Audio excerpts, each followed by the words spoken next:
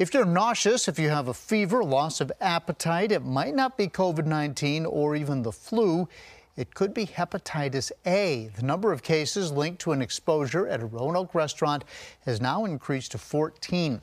The Department of Health says an employee who worked at three famous Anthony's locations in Roanoke was recently diagnosed, and they didn't find out until weeks later. It can take 15 to 50 days for symptoms to appear. With the symptoms similar to COVID or the flu, the fear is that those infected may continue to spread it we just don't have a lot of hepatitis cases in the United States. There's been a, a pretty big increase in people getting vaccinated in the US for Hep A because it's part of the childhood vaccination program. But there's a big chunk of humanity 35 and over who aren't vaccinated. Um, so people should get vaccinated.